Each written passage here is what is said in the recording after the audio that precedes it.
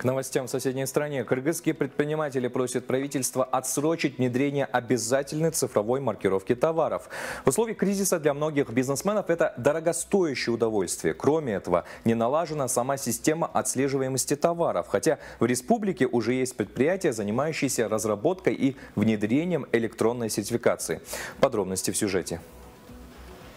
Как говорят кыргызские предприниматели, оборудование и программное обеспечение для цифровой маркировки дорогое, внедрить его в производство сложно, а найти качественных производителей таких комплексов трудно.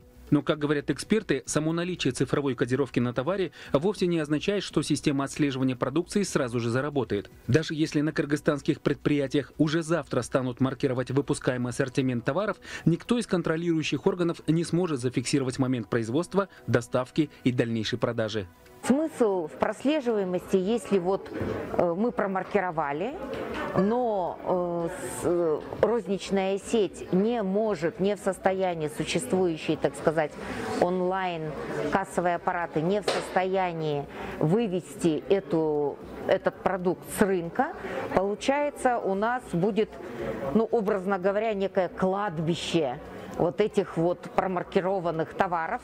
50 человек в штате, офисы в регионах, но самое главное – существующие контракты. Это небольшая фирма, одна из первых в Кыргызстане, занимающаяся разработкой программного обеспечения и внедрения в производство цифровой маркировки. Бизнес новый, но перспективный. Отслеживание поступления товаров на отечественные и зарубежные рынки позволит сократить теневой оборот. Руководство предприятия говорит, что некоторые бизнесмены именно поэтому не хотят внедрять маркировку или просят ее отсрочки. Между тем, они, как разработчики системы электронной сертификации, готовы предложить оборудование от эконом до бизнес-класса. Многие э, предприниматели э, не понимают на данный момент, но есть те, которые это поняли.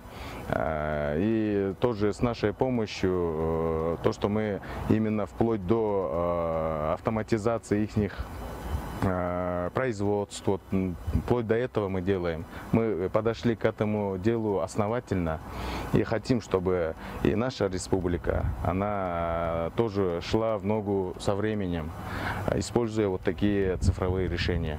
Чтобы решить проблему цифровой маркировки товаров, Российская Федерация выделит Кыргызстану 8 миллионов долларов. Соглашение об этом уже подписано между правительствами двух государств. Согласно документу, кыргызской стороне будет передана и полностью адаптирована информационная система маркировки. Ее главная задача – прослеживаемость произведенной продукции, а также борьба с контрафактными и контрабандными товарами. Российская техническая помощь выделена на безвозмездной основе. Бакытаман, Атамикен Бизнес, Кыргызстан.